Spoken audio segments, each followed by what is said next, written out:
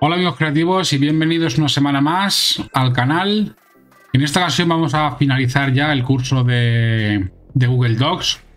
Vale, vamos a ver algunas herramientas que nos han quedado por ver y cómo instalar complementos y extensiones para nuestros documentos. Bueno, como os decía, hay algunas herramientas que no hemos visto y vamos a acabar de verlas hoy, además de instalar las extensiones que nos permite instalar Google Docs para agilizar y facilitarnos la, la tarea. Bueno, las herramientas que quería enseñaros hoy son, por ejemplo, el corrector ortográfico y gramatical, ¿vale?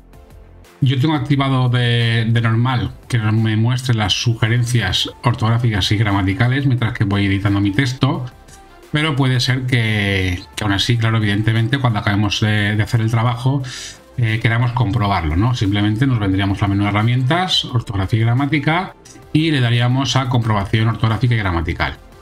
Aquí nos sale una ventanita y en este caso el documento parece correcto. Se me ha ido. A ver el documento parece correcto.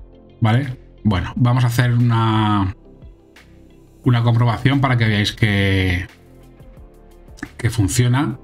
Si yo, por ejemplo, la palabra ejemplo la escribo mal, aquí ya me indica que está mal. Vale, vamos a hacer otra prueba. Acciones, pues voy a ponerla solo con una C. Y, pues, por ejemplo, consumidores, la voy a poner con K. ¿Vale? Bueno, pues yo me vendría a herramientas, ortografía, comprobación y ya me dice aquí que ha encontrado la palabra consumidores. ¿Vale? Entonces simplemente yo le daría, me da, me da una opción, le daría aquí y ya me la, me la habría cambiado. La siguiente palabra que encuentra es ejemplo. Aquí estaría bien escrita, pues le daría y me la tiene cambiada. Y acciones, que está con una C, me dice que la cambiemos a acciones con 2C. Bueno, pues ya estaría corregido todo el documento. ¿Vale? Es una manera de, corregir la ortografía y la gramática en, tus documentos.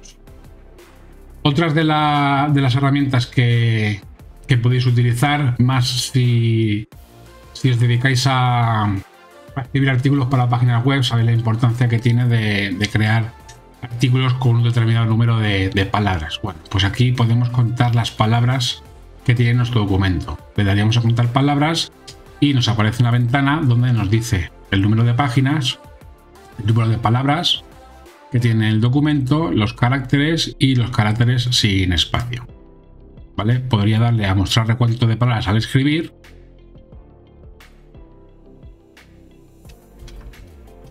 Y me voy escribiendo, aquí abajo, lo veis abajo a la izquierda, nos van saliendo las palabras que llevamos escritas, las páginas, los caracteres, en fin, todo, todo lo que llevamos escrito.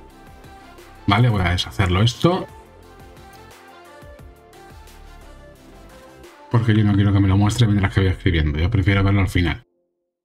Bueno, otra de las herramientas muy, muy interesantes es traducir el documento. ¿vale? Suponemos que supongamos que tenemos ya el documento y lo queremos traducir a otro, a otro, otro idioma. Bueno, pues le daríamos a traducir documento. Aquí tendríamos que ponerle un nuevo.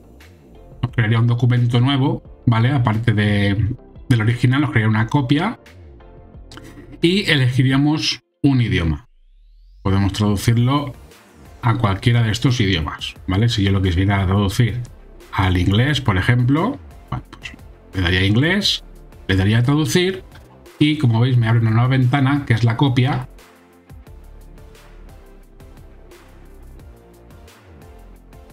Y nos habría traducido el documento a otro idioma. No sé por qué no la no ha traducido bien la palabra inteligencia, pero bueno, lo demás me imagino que estará, que estará todo bien.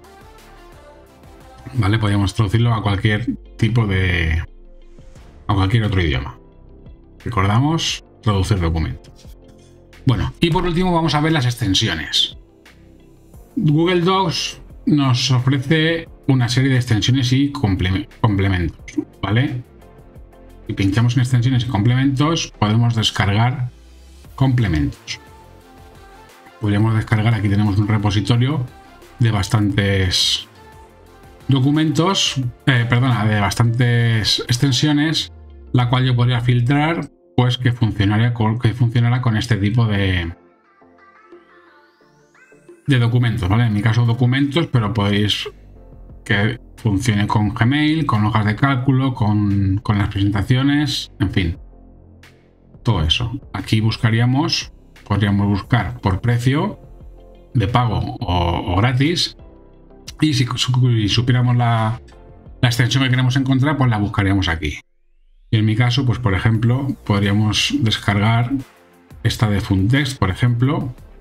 Le daríamos y le daríamos a instalar aceptamos, seleccionamos la cuenta donde queremos instalar, le damos los permisos y, ya se nos habría instalado. Bien, una vez instalado ya podemos cerrar aquí y eso lo tenemos en extensiones. Como veis aquí me sale Fun Test y aquí todas las opciones que podemos hacer. Vamos a hacer una prueba, vamos a seleccionar el título, inteligencia artificial, nos vamos a venir a extensiones, Fun Test y vamos a darle, por ejemplo, pues un, color, ¿vale? Color con gradiente.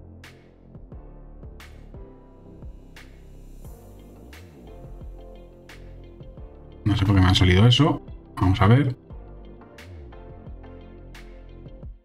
Vale, aquí estamos. Hemos elegido un... Que lo haga como si fuera un, un arco iris el formato.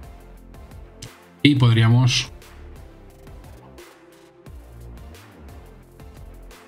cambiar hasta tipo de letra, por ejemplo. Que sea más grande, en fin. Es una extensión un poco chorra, pero, pero bueno. Podemos poner las palabras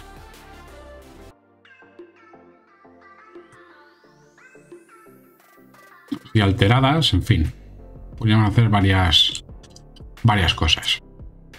Las extensiones la podemos gestionar desde complementos. Podríamos ver todos los complementos que hemos utilizado en el documento, en este caso uno, ¿vale? Y podríamos gestionar las extensiones de tal manera que podemos, si no la queremos utilizar más, en esos tres puntitos le daríamos a desinstalar y la desinstalaría.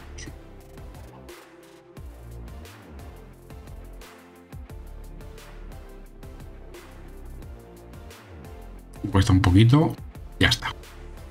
Ya estaría desinstalada la, extensión. Pues nada, esto ha sido las últimas herramientas que quería ver con vosotros. El tema de las extensiones y nada. Hemos dado por finalizado el, curso de, Google 2. Espero que os haya servido, que os haya sido de, de utilidad. Y nada, como siempre os digo, pues me gustaría que me apoyáis con, una suscripción, con un like y si queréis preguntar cualquier cosa, en la caja de comentarios os, intentaré resolver todas las, las dudas que podáis tener. Así que nada, nos vemos en próximos cursos.